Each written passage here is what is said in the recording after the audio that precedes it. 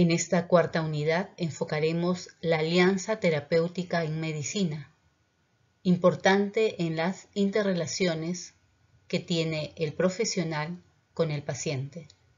Y en esta oportunidad enfocaremos la relación médico-paciente. Tal vez ninguna otra relación entre seres humanos haya suscitado tanto interés a lo largo de la historia como la relación médico-paciente, que es considerado el eje vertebral de la profesión médica.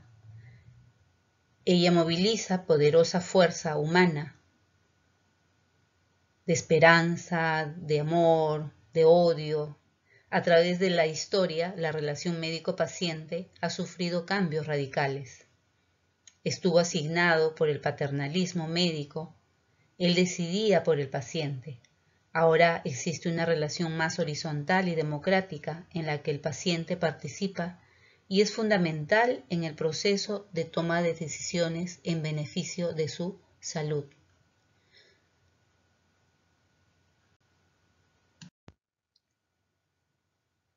La relación médico-paciente se puede definir como una relación interpersonal con connotaciones éticas de tipo profesional que sirve de base a la gestión de la salud.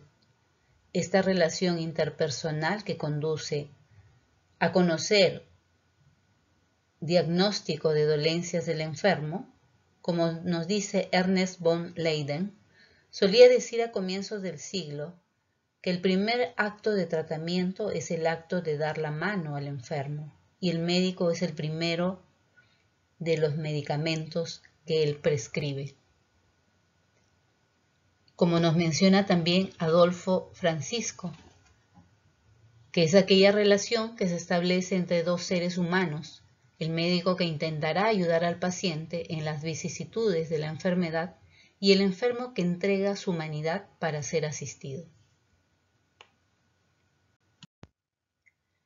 Existen formas de relación médico-paciente. Estas pueden ser clasificadas de diferente forma. La más utilizada es la que se menciona. La relación activo-pasiva se da con enfermos en estado de coma, en la que no le permite establecer una relación participativa. Tenemos también otro tipo de relación que es la cooperación guiada. Están en condiciones de cooperar en su diagnóstico y tratamiento, como ocurre con algunas enfermedades agudas. Podría ser la neumonía, y crónicas como la hipertensión arterial. Otro tipo de relación médico-paciente es la relación participación mutua. No solo es el cumplimiento del tratamiento, sino el control en discusión frontal de situaciones y actitudes relacionadas con la causa y evolución de la enfermedad.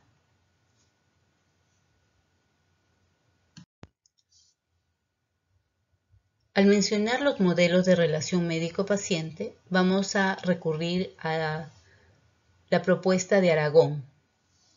Él nos refiere que hay un modelo paternalista, la actitud autoritaria del médico que dirige las acciones, indica que la realización de procedimientos diagnósticos y terapéuticos tiene que ser acatado por el paciente, no toma en cuenta sus temores, opiniones. Otro modelo es el dominante. En este caso, es el enfermo quien exige o pide que se le realicen determinados procedimientos, diagnósticos o tratamientos. Generalmente es cuando el médico no tiene mucha experiencia. Continuando, también este modelo de responsabilidad compartida se mantiene una buena comunicación entre el médico y el paciente, donde se informa a éste y a la familia, se aclara las dudas y se disipan temores. Y otro modelo es el mecanicista. Se lleva a cabo de acuerdo con disposiciones administrativas estrictas, se sigue protocolos de manejo rígido, generalmente son distintos los médicos que tratan al paciente, dificultando una adecuada relación médico-paciente.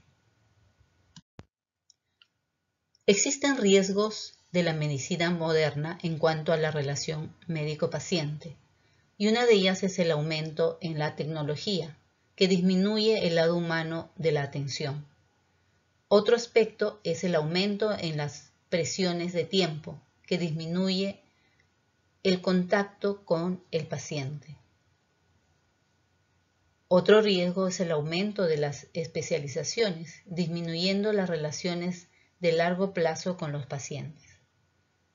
Asimismo, el aumento de las expectativas de los pacientes en cuanto a información y o participación. Las tres primeras pueden resultar en una atención percibida como impersonal, aún deshumanizada. El cuarto factor, especialmente cuando se combina con los otros tres, puede resultar en una significativa insatisfacción del paciente, con sus riesgos asociados, quejas, cambios de médico, incumplimiento de las indicaciones y hasta juicios de mala praxis. El dilema ético tiene lugar cuando los principios que se pretende defender entran en conflicto entre ellos de tal forma que cada uno solo puede ser protegido en desmedro del otro. Dichos principios son el respeto de autonomía. Las personas tienen derecho a decidir por ellos mismos. El principio de beneficencia. Es buscar el bien del paciente. El principio de no maleficencia. No dañarlo, no exponerlo a riesgos innecesarios.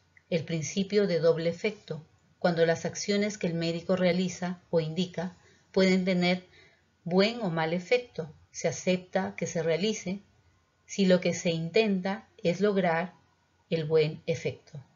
Y el principio de justicia, que todas las personas tienen la misma oportunidad de recibir la atención médica necesaria.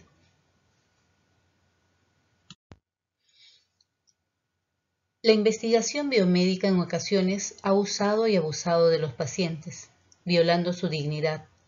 Bastaría mencionar los abusos que se cometieron en la época nazi con la investigación en seres humanos o bien la investigación hecha en débiles mentales, niños o ancianos.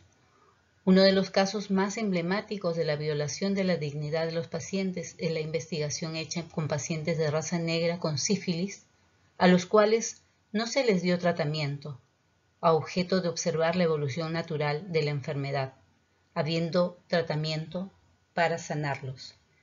En la actualidad, la persona involucrada tendría que tener la capacidad legal de consentir y debería tener los conocimientos y la comprensión suficiente acerca del objeto de estudio para tomar una decisión, o aceptar o rechazar.